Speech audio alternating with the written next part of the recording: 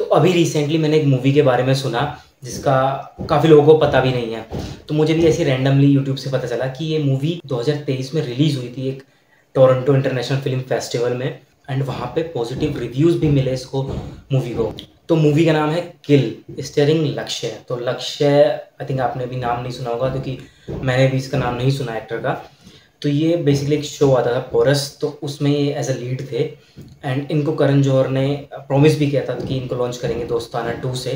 तो दोस्ताना टू तो शायद आई थिंक शेल्व हो चुकी है, अभी तक उसकी कोई स्क्रिप्ट भी नहीं है। बट करण जौहर ने ये मूवी बनाई है मतलब प्रोड्यूस कर रहे हैं उसको वो।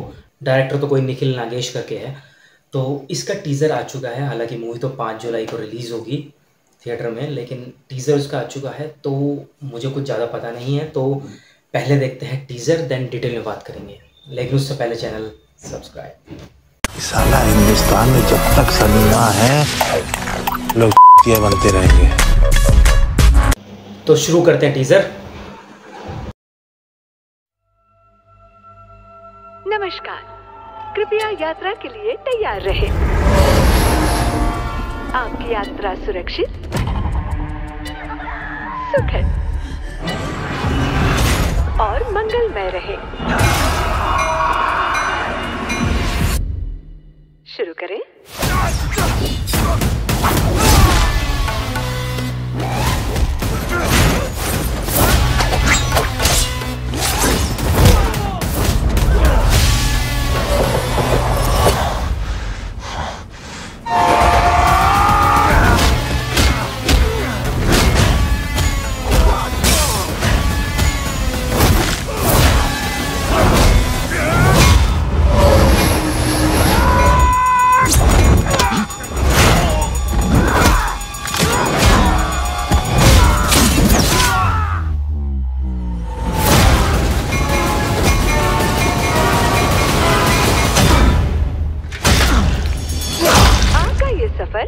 रोमांचक रहे।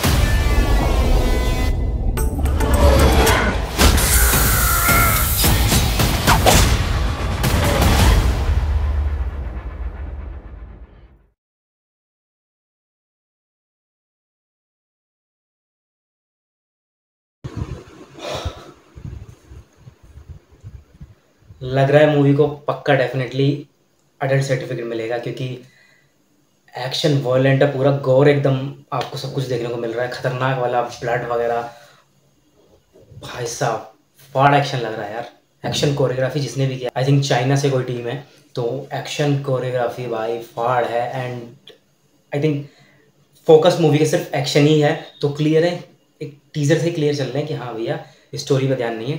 टीजर पे ही आप देख लो एक्शन एक्शन एक्शन तो मुझे याद है कि कमांडो मूवी थी विद्युत जामवाल की। मुझे इसकी स्टोरी कुछ खास नहीं लगी थी, लेकिन भाई एक्शन ने ही इतना मज़ा दिला दिया था कि वो विद्यु जामवाल की मेरी बेस्ट मूवी है। तो यहाँ पे वो वही सेम फीलिंग मेरे को आ रही है। तो कुछ ट्रेन की स्टोरी रिलेटेड लग रही है कि ट्रेन पे ऑन बोर्ड हो जाते हैं कपल जिसमें लक्ष्य जो हैं एंड साथ में तान्या करके एक्ट्रेस हैं। तो आई थिंक दोनों ही अननोन चेहरे हैं, इतने फ़ेमस नहीं है दोनों ही। तो दोनों के लिए ही काफ़ी बड़ी चांस है इस मूवी से तो भाई लक्ष्य जो मार्शल आर्ट कर रहे हैं, जो एक्शन कर रहे हैं। लग रहा है कि हाँ प्रॉमिसिंग डेब्यू उनका होने वाला है। तो मैं तो कहूँगा इसको अडल्ट सर्टिफिकेट के साथ without any cut scene release करा जाए। अगर थिएटर में रिलीज़ नहीं करने दे रहे तो भाई ओ टी पर डालो क्योंकि सीन काटने में फ़ायदा नहीं है। क्योंकि यहाँ पे आप एक्शन पे ही खेल रहे हो वॉयलेंट वाला एक्शन आप यहाँ पे कर रहे हो तो सीन काटने का कोई मतलब है नहीं। क्योंकि सेंसर बोर्ड में डेफिनेटली मूवी फंसेगी। इवन अडल्ट सर्टिफिकेट पे भी कुछ सीन हो सकता है कि कट जाए। तो इसलिए मैं तो कह रहा हूँ कॉम्प्रोमाइज़ ना करके अगर थिएटर में नहीं आ रही तो ओ पर डालो यार। लेकिन जो एक एक्सपीरियंस जो यहाँ पे प्रॉमिसिंग कर रहे हैं टीजर से, वो पूरा फुलफिल होना चाहिए। तो विलन के रोल में राघव जुएल की हमें एक झलक दिखी, आप जानते होंगे फ़ेमस कोरियोग्राफर डांसर हैं फ़ेमस हैं कॉकरोच के नाम से। तो उनका यहाँ पे भाई एक छोटी सी झलक दिखी है। खतरनाक लग रहा है यार वो छोटी सी झलक में कि लगने वाला है कुछ साइको वाला करेक्टर वो इस मूवी में करने वाले हैं। मेन विलन हो सकता है वो ही रही मूवी में। मूवी की स्टोरी टीजर से सिंपल ही लग रही है कि आ, एक कपल चढ़ता है एंड देन कुछ डकैत चोर आते हैं and then action action action होता है। तो आ, जो आपने हॉलीवुड की मूवी देखी हुई रेड उसमें भी यही होता है कि एक बिल्डिंग के अंदर पूरा एक्शन जो हमने बागी वन में भी देखा था कि इंटरवल के बाद एक ही बिल्डिंग के अंदर पूरा एक्शन होता तो यहाँ पे लग रहा है कि पूरी ट्रेन के अंदर वो जो चालीस लोग होने वाले हैं उनकी धाड़ धाड़ कटाई होने वाली है आप मूवी में। तो मूवी का जो कॉन्सेप्ट है एक्शन उसके हिसाब से टीज़र पैसा वसूल है। बाकी ट्रेलर में पता चलेगा कि और क्या हमें कुछ तगड़ा इसमें दिखने वाला है।